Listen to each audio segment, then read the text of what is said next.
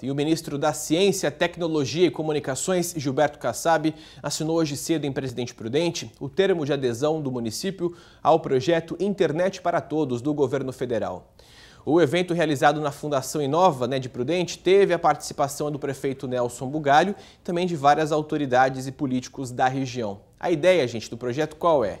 É levar conectividade para escolas, hospitais e postos de saúde que não contam com acesso à internet banda larga. O Prudente fez a inscrição junto ao Ministério e o termo define, então, a estrutura básica e as condições necessárias para a instalação da antena e também dos equipamentos. Bom, além de manter a segurança da área, a Prefeitura tem que bancar despesas de energia elétrica que os equipamentos vão consumir durante a operação.